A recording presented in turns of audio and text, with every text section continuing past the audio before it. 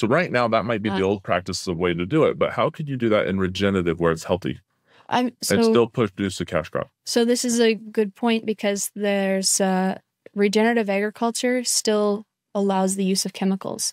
So there are a lot of regenerative farmers that use chemical in order to terminate their cover crops in order to put in a cash crop. No till. So we're still using uh, soil health protocols and things, um, just still using the chemical.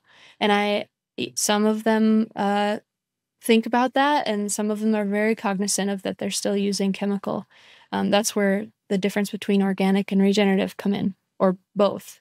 Um, Interesting. you So just you have to you have to be excited about experimenting and understanding different avenues of management and uh, making money on different types of crops um, and economics. But it sounds to me like so the value is based on you said the clean, cleanliness of the crop. So for example, if somebody wants to buy feed and the feed is a based on a a relative feed value, it's a Timothy, right?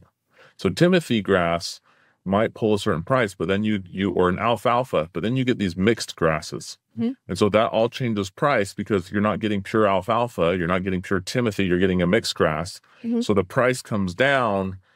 And so in regenerative, if we didn't terminate, part of it might just be the bicycle. So people are buying and they want a pure price. And so in our minds, we terminate, Uh, get that pure price. I'll give you a different example. I was thinking more like the the grain side of things where you need the wheat, the corn and the the sorghum seed or the soybean seed to come out and The grain. the grain Okay, the not grain needs feed. to be clean. That's different than feed. Okay. Yep. That that's my understanding of the field anyway. Interesting. Okay. Um, so so yeah, maybe you'll get a lower price for Timothy and alfalfa, but like you said, I think the right buyer would would see the the benefit to having a less alfalfa, lesser protein for a cow that's not necessarily ready for pure alfalfa. Interesting. Okay. Yeah, so it I, I depends. with Abby. uh, this is where we go deep on the conversation to try and, uh, you know, get the most value, I think, out of it so that we can take this back to, you know, Mhm. more people, more lands.